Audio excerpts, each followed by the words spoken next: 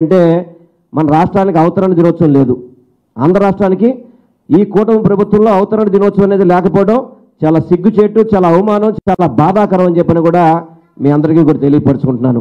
ఎన్నికల ముందు ఒకలాగా ఎన్నికల తర్వాత ఒకలాగా మాట్లాడి ఏదో ఆరు వయసులో ఓట్లు తీసుకోవాలని చెప్పని పొట్టి శ్రీరాములు గారి గురించి పొగడ్డం ఇతర నాయకుల్ని పొగడ్డం ఆ కార్యక్రమాలు అయితే ఎన్నికల ముందు చేశారు. ఎన్నికలు వచ్చిన తర్వాత పూర్తిగా కూడా పొట్టి శ్రీరాములు గారిని అవమానించే విధంగా చేసిన కూటమి ప్రభుత్వం ఇది తప్పు ఇది పొరపాటు అని చెప్పి మీ అందరికీ కూడా నేను తెలియపరచుకుంటున్నాను. ఎందుకంటే ఆ రోజు వైఎస్ రాజశేఖర రెడ్డి గారు పొట్టి శ్రీరాములు గారి త్యాగ ఫలితానికి నెల్లూరుకి పొట్టి శ్రీరామ్ జిల్లాని పేరు పెట్టడం కానివ్వండి ఇతర అనేక ఆర్యవయసులను గుర్తించే విధంగా గత ఐదు సంవత్సరాల్లో అనేక కార్యక్రమాలు జగన్మోహన్ రెడ్డి గారు చేయడం జరిగింది.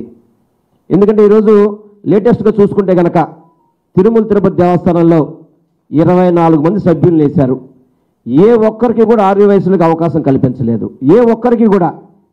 ఎంత అవమానం ఉండేది ఏ ఆర్య వయసులు టీటీడీ బోర్డులో పరిపాలనకు పనికిరారా? గతంలో చ- మన జగన్మోహన్ రెడ్డి గారి నాయకత్వంలో ఇద్దరిద్దరు ఉండేవాళ్ళు టీటీడీ బోర్డులో.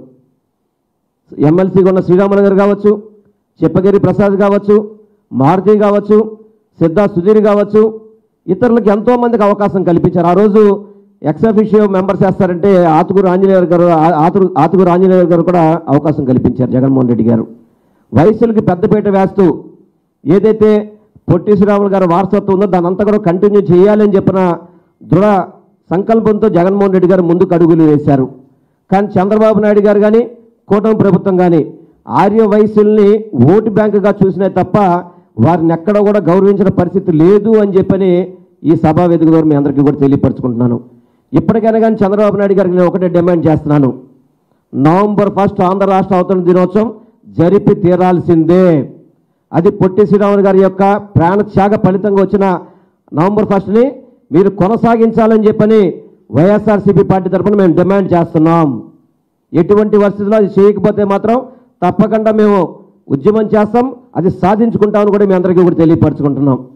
గతంలో ఇదే ఆర్య వయసులకి ఎంతో అవమానకరంగా ఉండే చింతమ్మని నాటకానికి కూడా జగన్మోహన్ రెడ్డి గారు ఆంధ్ర రాష్ట్రంలో రద్దు చేసిన పరిస్థితి మనం చూసాం దాన్ని మళ్ళీ పునర్ప్రారంభిస్తారని చెప్పని కూటమి కూటమిలో ఉన్న నాయకులు కొంతమంది చెప్తున్నారు. ఇవన్నీ కనుక జరిగితే రాష్ట్రంలో ఉన్న ఆర్య వయసులందరూ కూడా పూర్తిగా ఉద్యమించి కూటమి ప్రభుత్వాన్ని పోకటైలతో కూడా ప్రకటించేస్తామని చెప్పి మీ అందరికీ కూడా తెలియపరచుకుంటున్నాం. ఎందుకంటే జనరల్గా ఆర్య అంటే దైవభక్తి కలిగి ఉంటారు అహింసతో ముందుకెళ్ళే వాళ్ళు ఇవన్నీ జరగడం సర్వసామాన్యంగా జరుగుతాయి. కానీ వారు ఉనికే కోల్పోయినప్పుడు ఏ ఒక్కరు కూడా సహించే పరిస్థితి లేదు. ఎందుకు టీటీడీ పాలక మండలిలో మీరు ఎందుకు వేయలేకపోయారు? పాలక మండలి సభ్యుల కింద. లేరా ఆర్య వయసులో మీ దగ్గర లేరా? ఎంతమంది నాయకులు మీ దగ్గర పనిచేస్తున్నారు? ఏ కనీసం ఒక్కరు కూడా మీరు వేయలేరా మీరు? పవన్ కళ్యాణ్ గారికి ఏమో ఆయనకి ఎవరో ఆర్ట్ సెట్టింగ్లు వేసిన వాళ్ళకి వాళ్ళకి ఆర్థికంగా పనికొచ్చే వాళ్ళకి వాళ్ళకి ఆయన సభ్యులు గాయిస్తున్నాడు చంద్రబాబు నాయుడు గారి సంగతి మీకు అందరూ తెలిసిన విషయమే. కొంతమందినేమో కేసుల్లో ఉన్నోళ్ళని కొంతమందిని పనికి మన వాళ్ళందరూ కూడా టీటీడీ బో ట్రస్ట్ చైర్మన్లుగా బోర్డు మెంబర్లుగా వేశారు.